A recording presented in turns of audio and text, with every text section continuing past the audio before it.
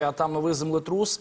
І знову у Туреччині за кількасот кілометрів від Стамбулу зафіксували підземні поштовхи магнітудою 4,8 бали, про що повідомило управління із надзвичайних ситуацій країни. Зазначили, що епіцентр був у місті Боло. Інформації про постраждалих чи руйнування немає. Однак очевидці розповіли, що деякі містяни у паніці вийшли на вулиці. Відлуння цих поштовхів відчували у деяких районах Стамбулу. Нагадаємо, що внаслідок землетрусу, який стався на початку лютого у Туреччині та Сирії, загинуло 45 тисяч людей.